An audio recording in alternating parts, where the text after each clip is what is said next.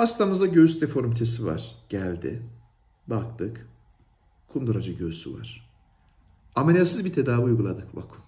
Ve bu tedaviden çok mutlu oldu. Çünkü ameliyatsız çok kısa bir sürede tam ve mükemmel bir sonuç elde edebildik. Peki bu sonuç geriye dönebilir mi? Şu an herhangi bir tespit etmiş olduğum hastam yok. Ve hastalarıma çok güvenli bir şekilde bu tedavi olmalarını kesinlikle tavsiye ediyorum.